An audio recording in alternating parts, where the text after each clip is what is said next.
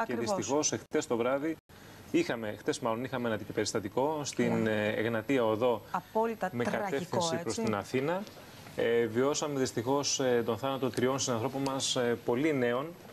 Και μάλιστα ο τέταρτος είναι σε πολύ βαριά κατάσταση από ό,τι τουλάχιστον λένε οι πληροφορίες μας. Πάμε όμως να συνδεθούμε με τον συνάδελφο τον Μιχάλη τον Μελιόπουλο από το σημείο όπου συνέβη το τραγικό αυτό ατύχημα.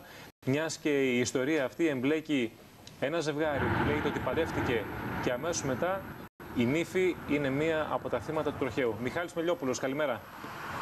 Γεια σας. Πραγματικά ένα μοιραίο έγινε χθες. Έπαιξε μοιραία η τύχη σε τέσσερα παιδιά τα οποία έφυγαν από την ε, Θεσσαλονίκη και πήγαν στην Κοζάνη για να κάνουν ένα πολιτικό γαμό. Εκεί ο αντιδήμαρχος που ήταν και φίλος ο κύριος Ιωαννίδης Κοζάνης ε, τους πάντρεψε τα παιδιά, τους ευχήθηκε, βγήκαν έξω, φάγανε και στο τέλος ε, γύριζαν για τη Θεσσαλονίκη.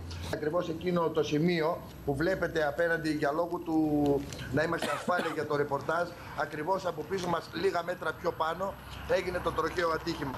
Έχασαν τη ζωή τους ε, δύο κοπέλες 23-28 χρονών γυναίκες και ένας άντρας 35 χρονών. Να πούμε ότι ο γαμπρός, ο οποίος παντρευόταν χθες το, το μεσημέρι... Αυτό είναι το ε, σημείο που έχει βλέπουμε, ζη- Μιχάλη. Με συγχωρείς που σε διακόπτω. Είναι το σημείο στο οποίο έγινε κοντά το, δυστύχημα. ατύχημα. Είναι στον Πολύμιλο Κοζάνης, ε, επί της Εγνατίας Οδού. Ακριβώς λίγα μέτρα μετά τα διόδια, στο πρώτο τούνελ στη Σύραγγα 13, Γιάννη. Ε, να πούμε ότι τα παιδιά γυρνούσαν από την Κοζάνη, πήγαιναν για Θεσσαλονίκη. Ε, εκεί χτύπησαν πίσω σε μία νταλίκα. Το αυτοκίνητο ε, έφερε σβούρες, όπως λένε οι πληροφορίες Ε, μας. ε, Μιχάλη Ε, μου, ξέρουμε από τα πρώτα στοιχεία της τροχέας τι ακριβώς συνέβη. Άσε δε που το ένα ακόμα τραγικό, μια τραγική λεπτομέρεια του ρεπορτάζ είναι ότι ε, κατάλαβαν ότι πρόκειται για ζευγάρι που επιστρέφει από γάμο γιατί το αυτοκίνητο ήταν γεμάτο από μπομπονιέρες. έτσι Ήταν ακριβώς. φορτωμένο με Χθες, δώρα και ε, μπομπονιέρες. Χθε αυτόπτε μάρτυρες αυτό μου είπαν όταν πήγαν να βοηθήσουν ε, το ζευγάρι εκεί πέρα, τα παιδιά τα οποία ήταν. ε, ε, να πούμε ότι η νύφη και ο γαμπρός ήταν από την Κοζάνη και οι φίλοι τους που ήταν μάρτυρες του γάμου ήταν από τη Θεσσαλονίκη. Μου έλεγαν αυτόπτε μάρτυρες ότι στο αυτοκίνητο είχε γεμάτο μπουμουνιέρε. Δάκρυσαν όλοι στην κυριολεξία Χριστίνα. Ε, δάκρυσε όλος ο κόσμος, όλα τα παιδιά εκεί πέρα που πήγαν να βοηθήσουν. Οι διασώστες που ήταν σε εκείνο το σημείο ε, έλεγαν τέτοιο περιστατικό πολύ σπάνια το βλέπουμε.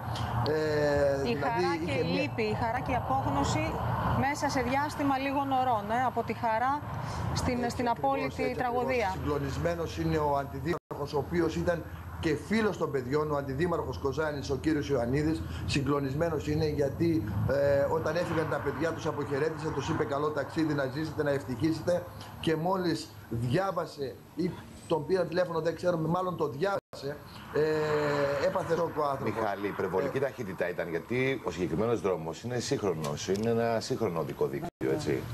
Αυτό, Στέφανε, δεν μπορούμε να το ξέρουμε. Ε, Ανθρώπινο ακόμα λάθος. πόρισμα η αστυνομία δεν έχει βγάλει. Περιμένουμε από ώρα σε ώρα να βγάλει ε, το πόρισμα η αστυνομία, να μας πει τα αίτια της σύγκρουσης ε, του αυτοκινήτου.